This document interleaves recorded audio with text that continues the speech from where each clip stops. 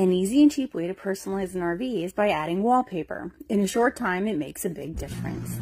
Here's the before and the after. Follow along for more RV content.